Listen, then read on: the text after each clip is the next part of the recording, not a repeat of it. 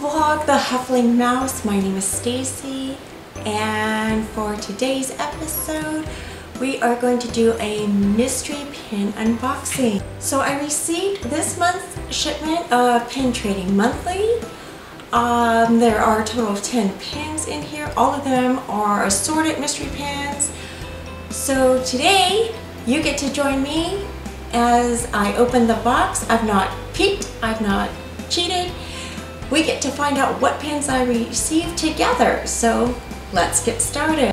So to get us started, I've already broken the tape seal down at the bottom. So all we have to do is flip the lip open. And that back a bit. Okay, the first item in the box is always this little welcome card.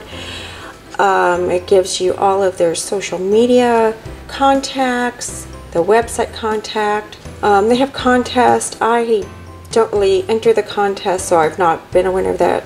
And on the back, it says, thank you for your order. We hope you enjoy your pins. All of our boxes are different. Pins are hand selected, inspected, packed, and shipped. Again, it gives some information about entering the giveaways. This is a subscription that I personally purchase and pay for, so it's not sponsored by Pin Trading Monthly. I've checked some of the images other pin collectors that receive Pin Trading Monthly have posted on Instagram. And yes, um, they've received a different variety of pins than I have, so that statement about um, each of the boxes being different is a very true and valid statement. So moving the first level of tissue paper off to the side, let's see what the first pins are. Okay, okay, so we have the Mickey Mouse ice cream bar pin. In the previous pin video, we looked at the Pluto ice cream bar. So Mickey ice cream bars from the same series, part of a matching set. Let's put him over here. The next pin is one of the Princess Purse pins. This is from Sleeping Beauty. It has Flora, Fauna, and Merryweather bows and their little wand going across the top, making the handle of the pin. I'm not a big fan of the purse pins, so this one will be added to my traders. Okay, and then the next pin on the top layer is Falcon. I don't really collect the Marvel pins. I actually trade these to my brother-in-law, so I'll be rehoming Falcon to my brother-in-law the next time we connect together. Next layer. Oh my goodness. Oh my goodness. Okay. Donald, I'm going to shift you to the side because there are two pins here that go with two of my collections. First is an antenna topper styled Mickey ear pin. This is Sorcerer Mickey. I am excited to be able to add him to my Sorcerer Mickey collection. So this one is definitely a keeper. Actually, I'm going to put the keepers over here. The next pin, I don't think I have this as a duplicate. I could be mistaken is Maleficent dragon form. It says Fantasmic Dragons. I love Fantasmic. I love Maleficent. She is one of my top villain characters to collect. If this one is a duplicate, it will probably go to my traders or I might do something a little different with it. Haven't decided, but I'm excited to get a pin that goes with one of my collections. So that one's going to go off to the other side. Sure what series this one's from. Um, I haven't seen any of these pins yet. We have Donald Duck. He's got his little arms crossed. He's smiling. I don't really have a Donald Duck collection, so this may end up being a trader. And let's look at our last layer of pin. All right, so here, all right, so here we have Aladdin and Jasmine. This is from the Couples series. I believe I may already have this pen. So a lot of times with my pens, my daughter and I, we will divvy up the ones that we like the best. This one might end up joining my daughter's collection because again, I believe I have this one. So I'm gonna put this one off to the side. Not a fan so much of this one. This is a Stormtrooper helmet pin. It's got some colored pattern designs.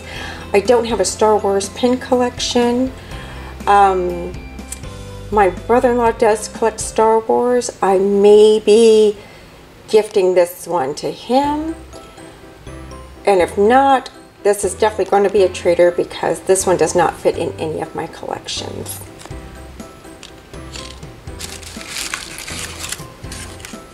So next we have the Peter Pan Donut Pin. There's a whole series of different donuts. I know that there's a Mickey, a Donald, a Cheshire Cat, Stitch Donut. My daughter likes the donut pins, so this I believe is going to be joining her collection. So she'll be very happy to have the Peter Pan donut. And last but not least is Linguini in Tsum Tsum form. As I mentioned previously, I'm not a big fan of the human Tsum pins, but the nice thing about this one, he's going to go straight to my daughter because she's taking culinary arts in her high school courses.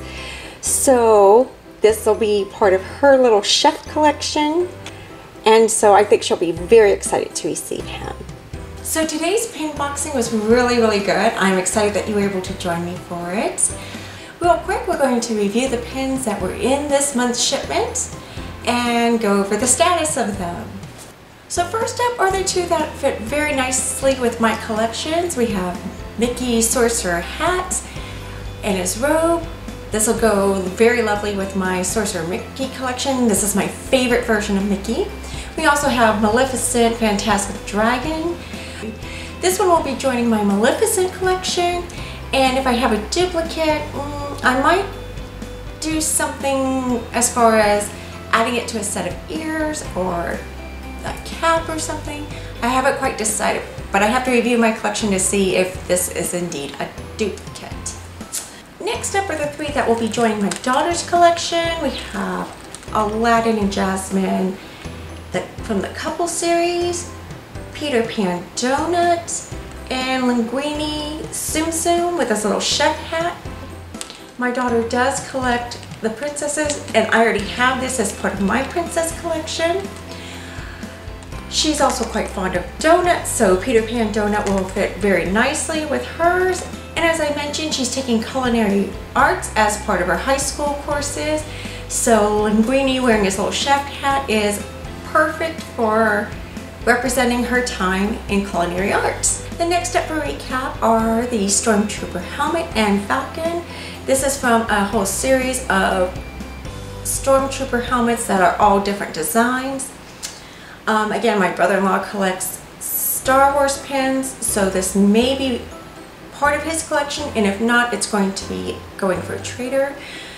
Falcon, however, will definitely be joining his Marvel series collection. Um, we often trade pins back and forth, so I'll be engaging in a little pin trading there. And the final three pins from this month's subscription box are Donald Duck, the Sleeping Beauty, Fairy's Purse, and a Mickey ice cream bar. More than likely these will be added to my traders which are listed on PinPics. I'll put that link down again below. If anyone is interested in doing a little pin trading, I definitely welcome that opportunity. So thank you for joining me on this episode of The Hufflin' Mouse. I enjoyed sharing my pin subscription with you and reviewing the pins. Please give this video a like, um, be sure to subscribe and hit the little bell down at the bottom for notification. Again, I'll be listing the link to PinPics. You are welcome to contact me through there to do a little pin trading, see which pins I have listed that are up for trade, see which pins I am currently searching for. And that's going to conclude this video. Thanks again. Bye.